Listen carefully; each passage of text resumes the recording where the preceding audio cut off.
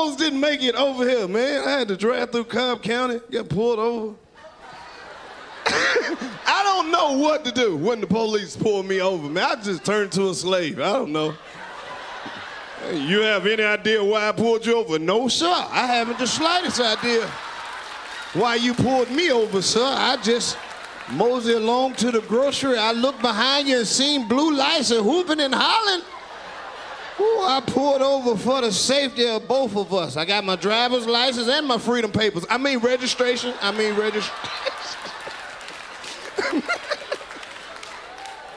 asking you all those crazy ass questions when they pull you over. What you doing in Cobb County? Bitch, I'm leaving. Don't nobody visit no Cobb County.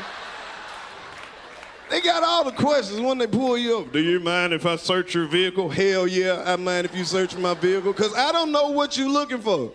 And I know you ain't lost shit in my vehicle.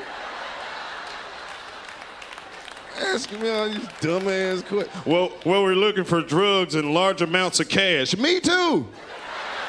We looking for the same shit. I- we should ride together. They ain't trying to trick me. You mind stepping out your vehicle so I can hear you a little bit better? These cars are passing by pretty quick.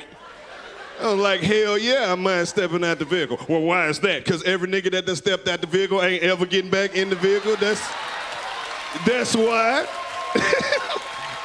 oh, there would be no stepping out the vehicle. You can get in the vehicle, but I'm not getting out the vehicle.